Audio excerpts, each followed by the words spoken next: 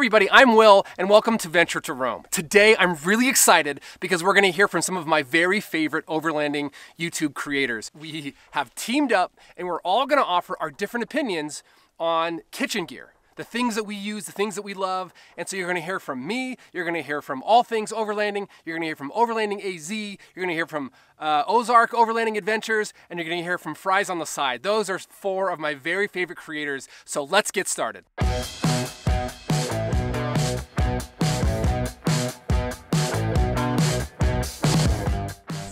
First thing I want to talk to you about is just how we pack our kitchen. I love our DeWalt packing system. Let me take you through it. It's really great. So what we use to, for our kitchen storage is the DeWalt T-Stak toolbox system. What we have is kind of like one big bin and then one sliding drawer. The drawer on the bottom slides out. That's where we keep all of our utensils, our spices, our kind of cooking utensils, so spatulas and anything else we might need to actually cook the food. And then inside the big bin is all of our plates, our bowls, our, our coffee, so the stuff that we make coffee with, frying pans. We have two frying pans in there, our stock pot. And so all that stuff fits in this one bin and it's really easy and accessible to get in and out of. So love that. Highly recommend that or something like that for your kitchen gear. Okay, so the next thing I want to tell you about is our Jetboil Genesis stove. Look, this is a luxury item. This was expensive. This costs like 300 plus dollars for a stove. Our first stove was like 20 bucks on sale at Fred Meyer. This one is totally different. And here's what we love about it. We love that number one, it folds into the clamshell and it fits into one of our DeWalt boxes. The other thing that we love is when it opens up, there's no attached windscreen. So you can really fit two full-size frying pans. Sometimes we do a grill we put over one burner and then we have like a sauce or something cooking in the in the frying pan next to it. With the other stoves, there was never enough room, or if they made them bigger, then they became these kind of monster size. The third thing that we love about this Jetboil Genesis is the flame regulation. It's almost like cooking at home. Kate and I tend to be a little bit on the foodie side of things when we go camping. We really love trying to make high quality, sometimes complicated dishes you can really dial it in. You can simmer. It's not just like cold and scorched, which was our experience with other camp stoves. This one really lets us be able to finely tune that flame and that heat when we're cooking. So for us, it was a luxury buy, but we use it every time we go out and we have often looked at each other and said, you know what, I'm glad we bought this stove. The next thing that I want to share with you is something that Kate and I just got, but we're really loving it. Check it out. It's the GSI Outdoors Collapsible Stock Pot and Frying Pan Combo. Look at how small this packs down. This is a stock pot, a lid, and a frying pan all in one, and it fits into our kitchen box so easily. So this just pops off the back. This is the frying pan, plenty, plenty big for cooking eggs or whatever you might do at camp. Um, and then it's got a it's got a handle that attaches. It's in our it's in our kitchen drawer. And then this thing is like a legit stock pot. So check this out. It just pops down and then it's a stock pot. I mean, uh, you can get a lot of stuff in here. And we also use it for a salad bowl when we're making salad, so we don't have to carry an extra thing in our, in our gear. Um, so we had a collapsible stock pot from Sea to Summit, I believe, and we loved it. Um, however, it was a little bit too small and the lid was plastic and it got broken inside our, um, our kitchen box. So this thing has a metal lid, it's aluminum I think, it's very, very light with a strainer on it you can see there. And on the bottom it also has uh, this, this ring that keeps the flame, keeps the heat from the flame right on there so it, it gets things hotter faster and keeps them hotter longer. And then it's just got a ton of volume um, for making soups, making, I think Kate made chili mac in this, um, like we said, salads, we make a ouzo soup, all kinds of stuff. Um, and so we've probably used it five or six times since we got it. And, and so far we're just really, really loving it. So that is the GSI Outdoors Stock Pot and Frying Pan Combo. Loving this. Okay, so the last thing I want to share with you is something we use almost every time we cook. It helps us clean the dishes. It's from MSR and it's this little dish scraper. It is incredible. We have non-stick pans and whenever we try to use a scraper or a scrubber, it kind of damages the pan and doesn't really get it that clean to begin with. And then it's kind of hard to clean up afterwards. So this thing is uh, basically it's a piece of plastic and it's got a nice edge on it and that edge takes off like 90% of the grime. And then on the other side, it has these short but really stiff bristles and I tell you what, those things scrub off everything else. So between the scraper and the little scrubber on the other side, it it cleans better than like anything even in our kitchen at home. It's it's amazing. So I don't know even know how much it costs, but it was worth it because now we can get our dishes, especially like our frying pans after we've made, you know, sauces or or steak or something that might get kind of crusty in there. This just gets it off, gets it clean. We can cook again in the next night at camp, no problem. So we're using it every time we go out and we love it.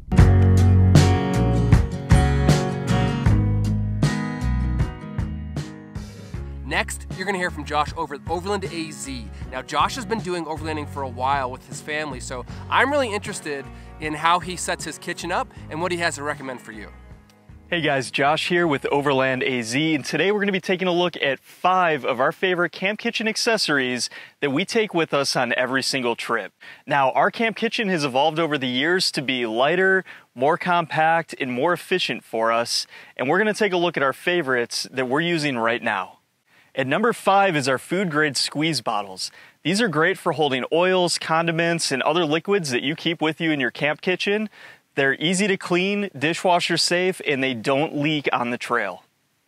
At number four is our Cleverona nonstick pan.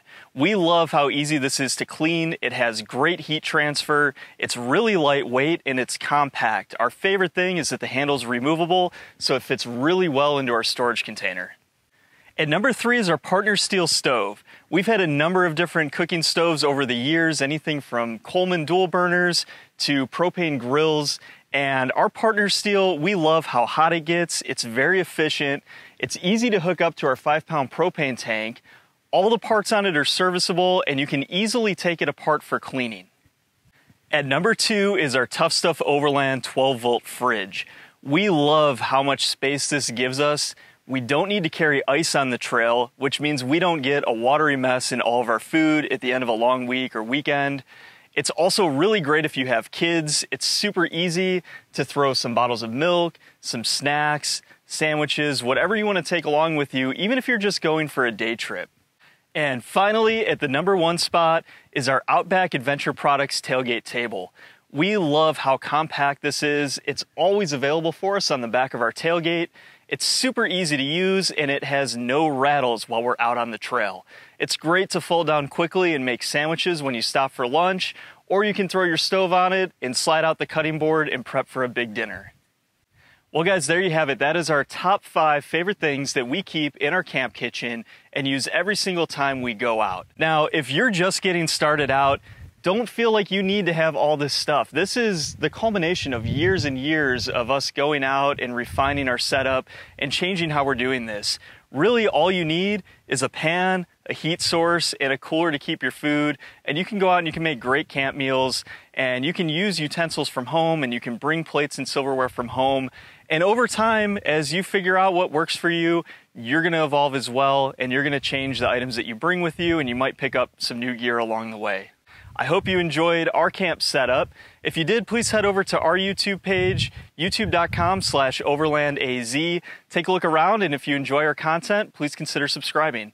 Thanks so much for watching. We'll see you on the trail.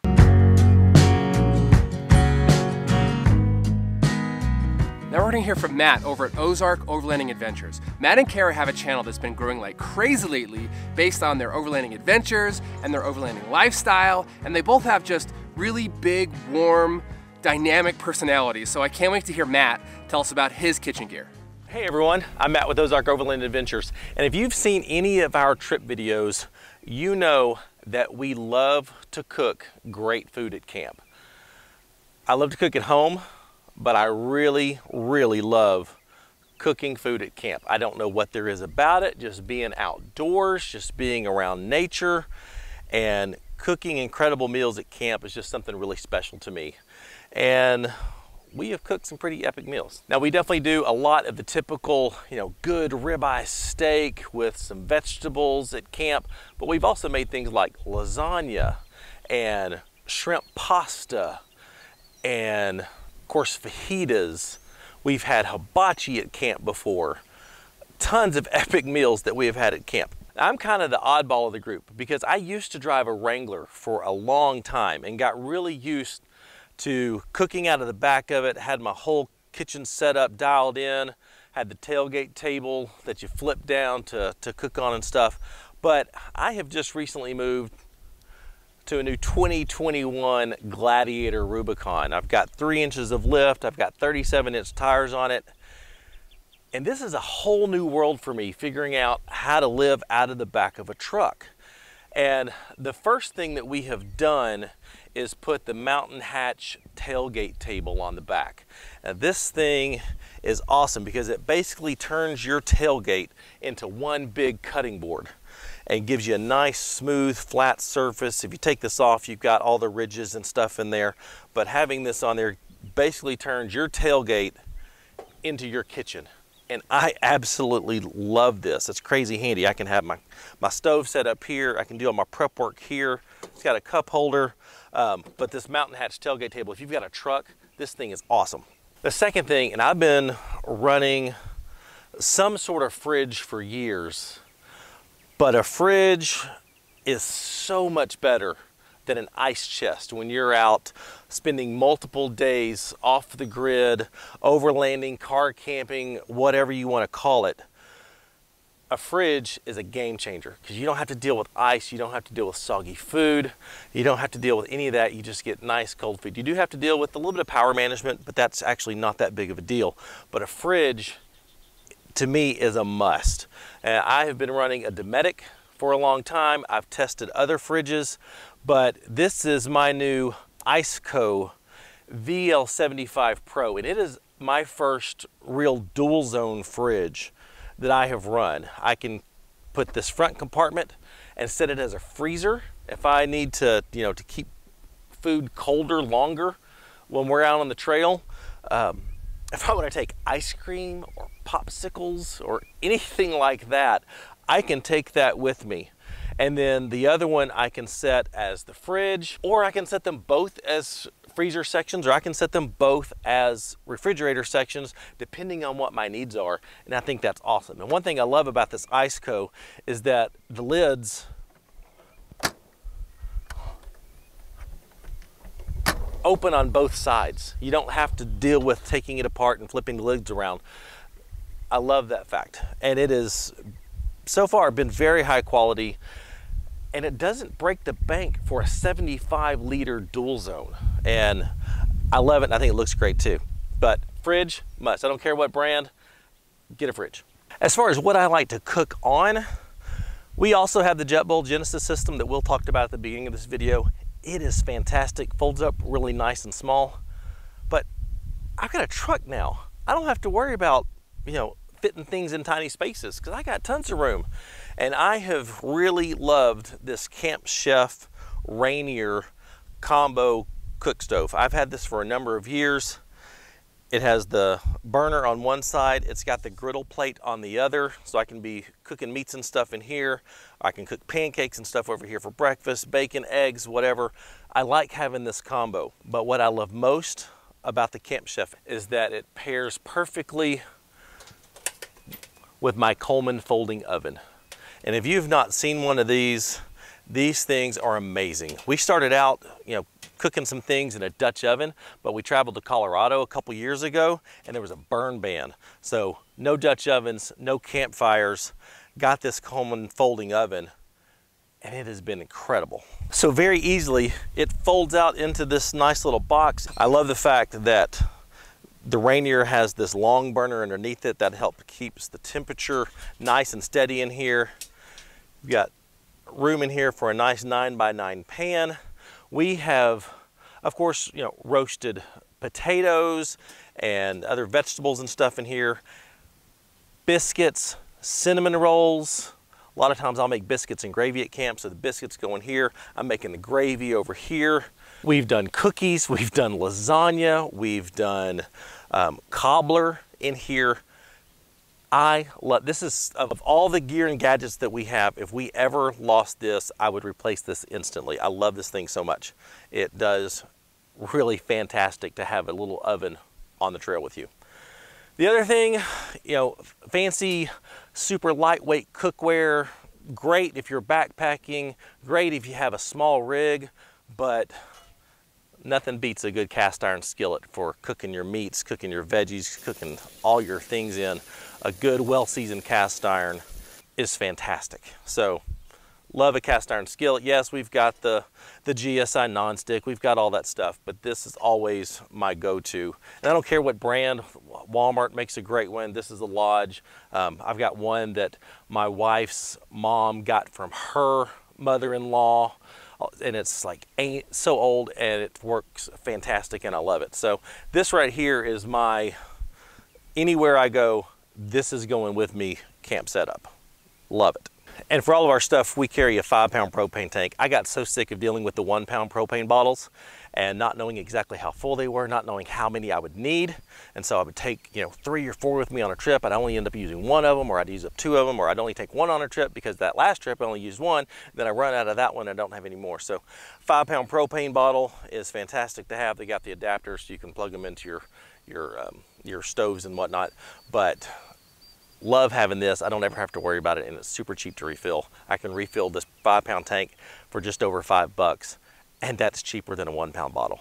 Thanks so much for watching me sweat shooting this video in this Arkansas humidity. I wish I lived up north where it's a little bit cooler like my friends do, but uh, it's hot and humid down here. But we have a blast and love cooking. So hope this information was helpful to you. If you have not checked our channel, there's a link below and would love to to have you check us out as well and the trips that we go on, the meals that we cook, the reviews that we do, that sort of thing. But uh, Thanks so much.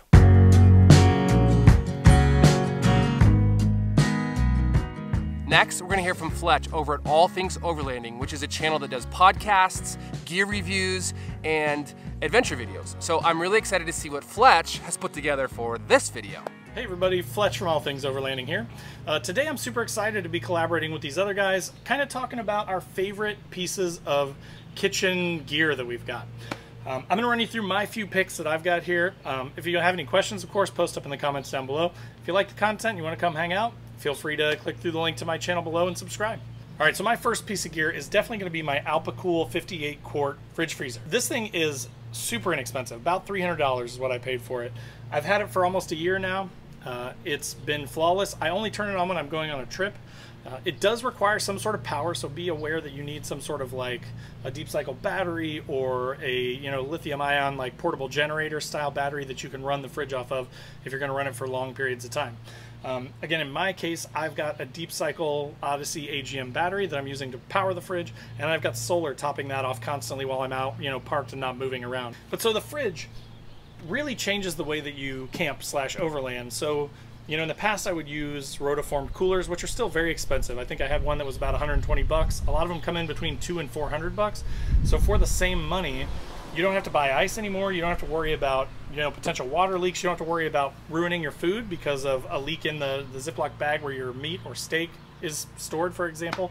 Um, it's just a cleaner alternative and it's just so much more convenient to be honest with you especially if you're like a beer drinker like me and you want to stop off somewhere and you pick up a warm six pack to not have to worry about you know melting your ice further or putting that heat into the cold cooler system with a fridge it's just constantly you know cooling things down so you can throw stuff in there take it in and out and it's always going to stay at a consistent temperature so again for me this thing was really awesome really great for especially longer trips and that's why i love the idea of a fridge if you have the room for it uh, my second thing you can see back here it's a very overlandery kind of thing. It's something that people get sometimes just because it looks cool. Mine's kind of hidden on the inside. I don't have it mounted ostentatiously to the outside of the rig or anything. Not against it.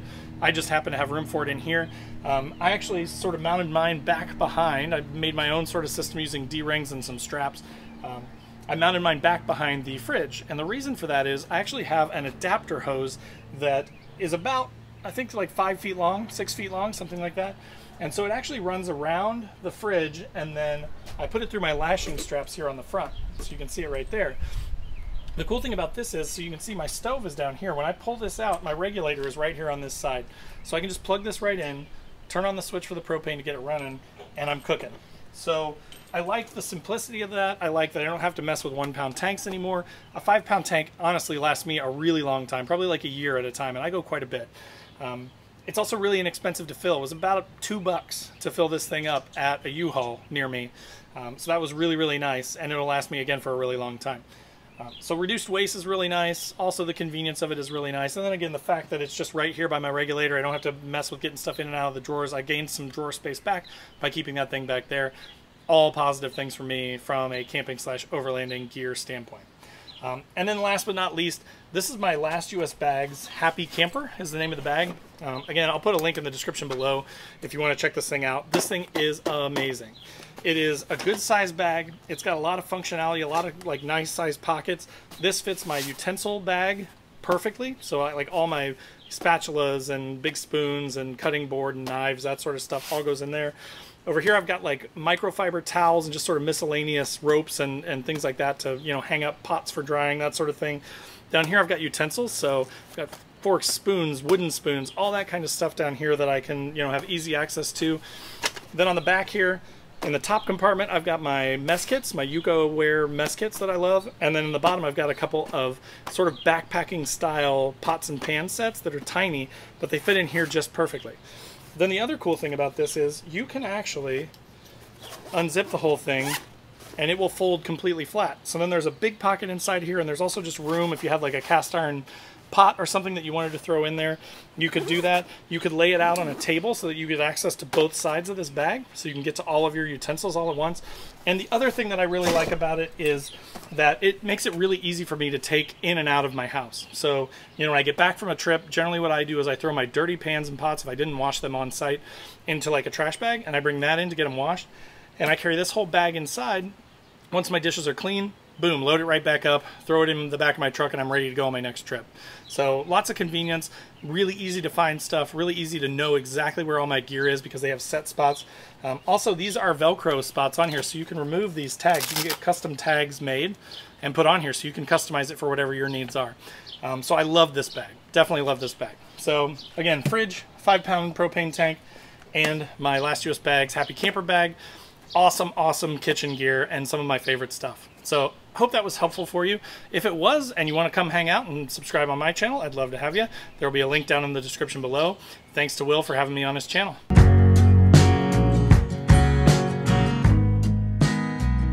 Okay, last but certainly not least is Matt over at Fries on the Side, which is a new overlanding channel out of Wisconsin where Matt and his family go on overlanding adventures with their Jeep and their teardrop trailer and just seem like really down home, honest people doing awesome adventures. So, so excited that he's involved in this project and cannot wait to see what happens with his channel next. Hi, I'm Matt Fry with Fries on the Side. My family and I here live in Wisconsin and we love the outdoors. We experience the outdoors in our 2012 Jeep Wrangler and teardrop trailer.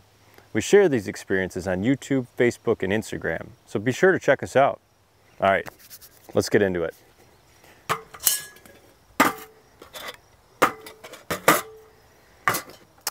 Kitchen stuff. All right, let's first talk about this table. So this is a Cabela's roll top collapsible kitchen table, if you will. So what I like about it is uh, it does assemble relatively quickly. It is generally compact, uh, relatively speaking. Um, it's made out of aluminum, so it holds up really well. So I like that. Uh, what I don't like about it is that it is pretty wobbly. In fact, it's very wobbly. And then the other piece is that these accordion pieces of aluminum are bungee together. And I don't know the durability of the bungee. We've had this now for three years. It's been holding up really well. But I have a feeling that that bungee inside eventually will give way and cause issues. So, we, but all in all, we really like this table. All right, so possibly one of my favorite things at camp is coffee. Uh, and that's basically what three out of the other four things on this table are related to. So uh, we'll start with this GSI percolator. So this is a six cup percolator made out of stainless steel. Um, for us, it's, it's absolutely perfect. So it makes just enough coffee for the two of us. Um, about a strong three cups or so per person. What also is really nice, it cleans up nice because it's stainless and because of the low water level, it heats up really fast. Uh, some of the other percolators that we had um, just took a lot longer. And in fact, what I also like about this is the shape of it, uh, just being a straight cylinder. um, really helps to compact and find its place and space for it. Um, and lieu to the Bell style, if you know what I'm talking about, the old Bell style um, percolators. Uh, holds more water, puts a lot more coffee out there, but it takes a lot more time to heat up. So we really like this guy. Uh, what I don't like about it is it almost heats up too fast. So I often have to like slide this off of the heat source and put half the heat source on and turn it down really low on the propane take. So we really have to watch this for a low percolation. Uh, and then the other thing that's um, not ideal is it is only six cups. So it's not great. But with good coffee and a percolator, you have to grind it. Uh, so we bought this, and frankly, I don't remember where, um, basically it's got like a steel metal up top, probably aluminum actually, and then a wood walnut top and bottom and handle. It actually broke on our last trip, uh, so it's not uh, overly useful at this point. But what I did like about it, I'm looking for replacements, so if anyone has any suggestions, I'm all ears. But the beans that you put in here, um, and the beans that you would basically would grind and would fall into this lower piece, you could take this off this was like the perfect amount of ground coffee that went into the percolator. Uh, and the other benefit is there's this little setting at the bottom that you can adjust how coarse you would want your coffee grounds grounded to. Uh, the only negative is it didn't really pack down the greatest. You kind of had to pull this off and a little awkward. Um, and the other thing that's negative about this one is it's broken, but looking for a replacement. Uh, and then, so the, one of the solutions that we come up with when we only make six cups of coffee, um, often I'm like the first one up. So what we end up doing, or what I end up doing, is making like six cups, putting it in a thermos. And there's nothing special about the thermos besides just keeping it uh, warm and insulated. Uh, and then I'll maybe make another batch and I'll drink that batch. Wait for Andrea to get up um, so we can share some cup of coffee together. All right, so that's that's coffee. Okay, so uh, many of you have seen this.